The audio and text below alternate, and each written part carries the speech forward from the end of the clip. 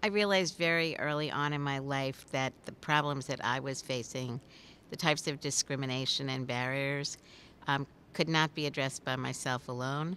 So, my ability to learn from and work with disabled people in the United States and around the world has been critically important both to improving my life and the lives of others.